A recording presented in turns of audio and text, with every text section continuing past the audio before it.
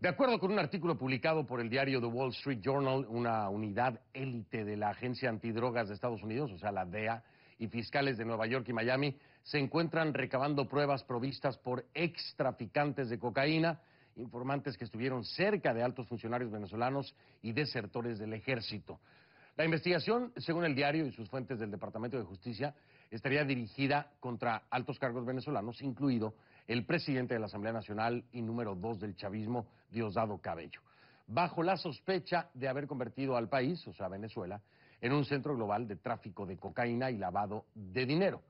La fuente de The Wall Street Journal asegura que el objetivo principal es Cabello, de quien habría, lo cito textualmente, abro comillas, extensa evidencia para justificar que es uno de los líderes, sino el líder del cartel. Cierro comillas. El artículo del diario está basado en el testimonio de más de una docena de fuentes cercanas al caso. CNN ha tratado de establecer comunicación con miembros del gobierno venezolano, incluidos dos de los voceros de Diosdado Cabello, sin éxito. De la misma forma, hemos tratado de contactar a la Casa Blanca, el Departamento de Justicia y el Departamento de Estado de los Estados Unidos, pero no quisieron hacer ningún comentario. Hay que recordar que Diosdado Cabello y otros funcionarios venezolanos han negado en repetidas ocasiones estos señalamientos en su contra. En abril de este año, Cabello presentó una demanda, una demanda contra tres medios de comunicación del país, por hacerse eco de las acusaciones de Eleazmi Salazar, su ex jefe de seguridad, al reproducir sus declaraciones en un artículo del diario ABC. Aclarar también que el gobierno del presidente Barack Obama no está coordinando las investigaciones, sino que están siendo dirigidas por los fiscales federales. Antes de ir con nuestro invitado, eh, vamos de inmediato al Centro Mundial de Noticias. Allá está nuestra Key Guerrero y su segmento Lo que dijo.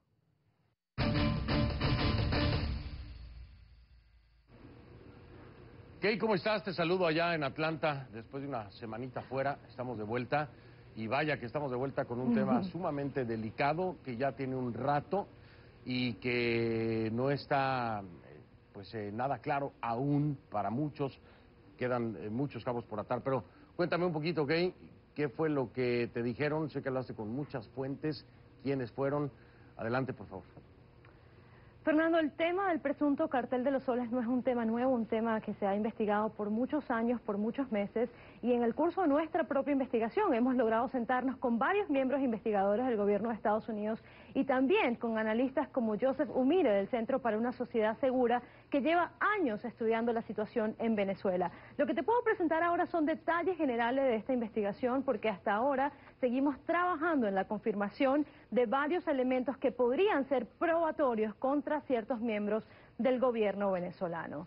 Umire, como te decía, desde el 2010 ha advertido sobre el presunto nexo entre el crimen organizado y las Fuerzas Armadas venezolanas.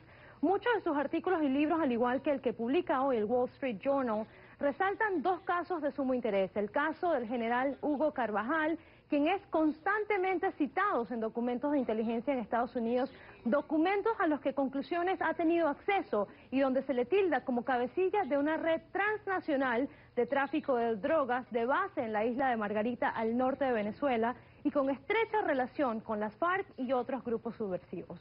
Incluso en estos momentos, como ya se sabe, Carvajal está imputado formalmente por las autoridades estadounidenses. Sin embargo, tanto el gobierno de Venezuela como Carvajal han negado estas acusaciones. El segundo caso que mencionan, Fernando, es el caso de Walid Macler García, un venezolano nacionalizado proveniente de Siria, quien fue arrestado por el gobierno de Colombia tras identificarlo como un capo de la droga con altos nexos dentro del chavismo. Según su propio testimonio, recordamos, Maclet dijo que había instalado posiciones dentro del chavismo y dentro de las Fuerzas Armadas de Venezuela para llevar a cabo, según dice él, el reclutamiento de generales que lo asistieran en sus actividades ilícitas. Al momento de sus arrestos, Maclet mantuvo tener hasta 40 generales de las Fuerzas Armadas trabajando para él, a quienes dijo pagaba entre 5 millones de dólares mensuales.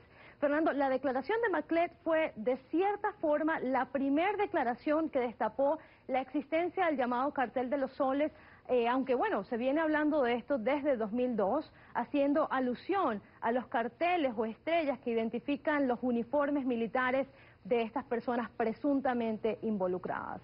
En el curso de nuestra investigación, Conclusiones también ha tenido acceso a documentos de la Agencia Antinarcóticos de la DEA y uno de ellos tilda a, Hugo Carvajal como socio de Diosdado Cabello. El reporte, sin embargo, no muestra detalles específicos de si habría alguna eh, actividad ilícita por parte de Cabello, pero dicen que es una persona de gran interés en las investigaciones e incluso hay otros eh, reportes de la misma agencia que citan que Cabello mantiene una fortuna acumulada de hasta 2 mil millones de dólares. CNN obviamente no ha podido confirmar este detalle de manera independiente. Sin embargo, mire, como te decía, quien ha escrito sobre Venezuela durante muchos años se refiere a Cabello como un miembro intocable dentro del gobierno venezolano que se desempeña en el narcotráfico a todos los niveles dentro del gobierno.